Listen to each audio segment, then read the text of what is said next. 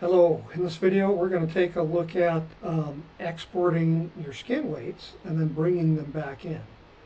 Now uh, this is something that uh, happens all the time and I know it's uh, counterintuitive because you don't want to lose all the time you spent weighting your mesh. So uh, let's just get straight to it.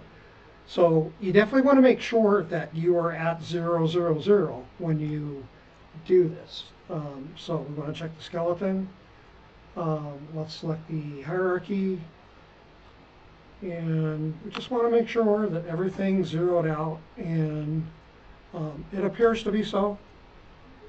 Uh, note that uh, a branch can have um, up to three numbers, but um, a child is only going to have a translated x, which is an offset in the x direction.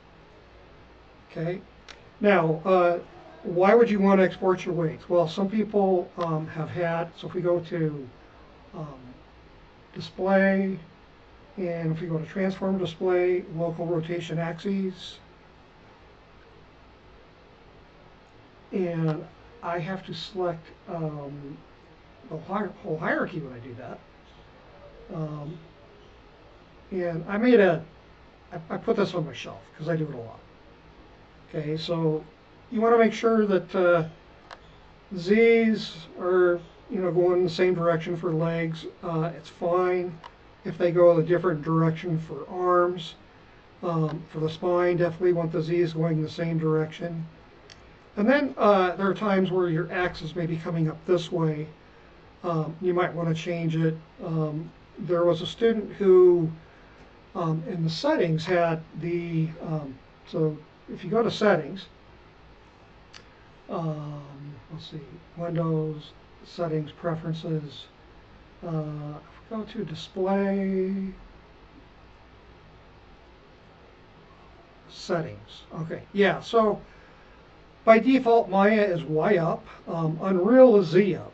Now you can export anything into Unreal if you're using Y up, but the student setting was on Z up, and so um,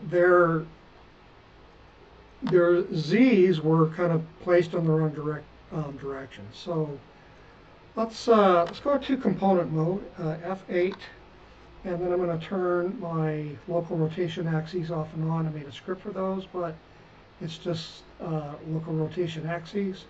So, you know, it's making them a little bit bigger so you can see them. Um, so we've got our X going back this way for one arm and coming forward this way from another our other arm. Um, in the uh, example, one of the examples I saw today during class, the Z was going straight up, and that caused rotational um, issues. So um, that's actually a subject for another time, uh, but I will be talking about that. Okay, so I'm going to turn these off. Um, back to component mode, turn local rotation axes off. And this is a toggle, so turn that off on the hips. Okay, so uh, what we do, uh, select the geometry, and we're going to go to deform and we're going to go to export weights.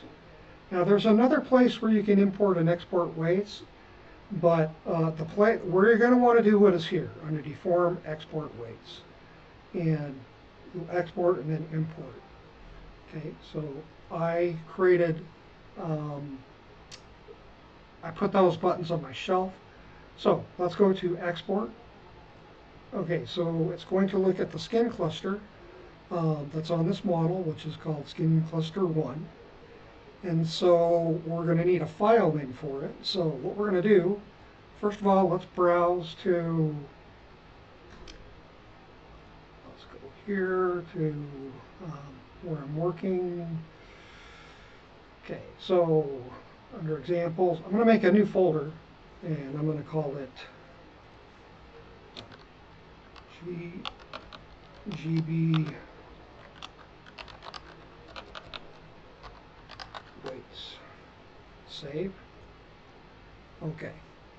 Uh, and then I've got a file, and, and so then it's going to give it a file name, um, and so we will just give it that file name. Okay, so we'll just say export.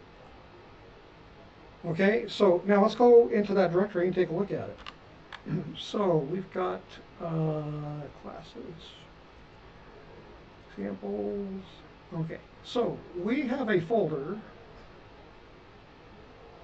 or actually,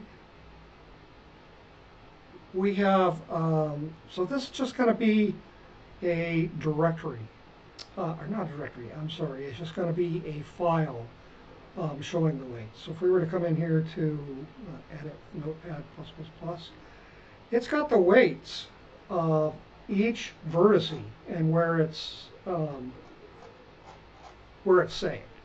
So that's really cool. All right. So weights are exported. So now what I can do is go ahead and delete them. However, you want to make sure that you are at um, everything is zeroed out. So, and I always make sure when I'm doing an, um, a skin weighting animation that I'm always um, zeroed out here with the skeleton um, so that everything is zeroed. So a branch, you can have uh, a different uh, location, but the children, uh, here's a branch. It's, so it's got up to three translate values. Same thing with the hips, up to three translate values, but children um, should just have the one value in X. Okay, so that's how you know you're all zeroed out. Okay, so now that it's zeroed out, we're going to select the model, um, and we are going to go to Edit, delete by type history. Okay, so um, I've got an icon for that here. Uh, delete by type history. So whatever pose you're in, um, if you delete history, it's going to be um, the the skeleton will, or pardon me, the model will be in that pose. You want to make sure you're at zero. Okay, so if we run the animation, we can see that the it's no longer attached. Right, so now what we're going to do is we're going to select the skeleton again and the geometry again, and we're going to come in and we're going to go to skin, bind skin, and I think I'm just going to do this, apply and close. Okay, so now the skin is bound, but it's not going to be uh, perfect. Um, so now we're going to select the geometry and now we're going to go to import weights and again that's under deform um, import weights okay so we're going to go in again and we're going to find the uh, let's go to my computer. I stuck it. Glasses ring examples so this is the um, weights. It's an XML file. Okay, so let's select that, open. And so these were all in an index in the XML file, so this is what we're going to use. So let's import and run this, and so now our weights have been loaded and saved. Okay, so that's going to come in handy when you run into issues and if you like maybe you needed to remirror something or you know, whatever. Um, deleting history will so if we delete the history like right here so it's going to freeze your model in that position so it's not something you want to do you want to make sure you are um, at zero like just like almost everything else in rigging it's got to be at zero Okay, uh, I hope this was helpful. Have a nice day. Bye.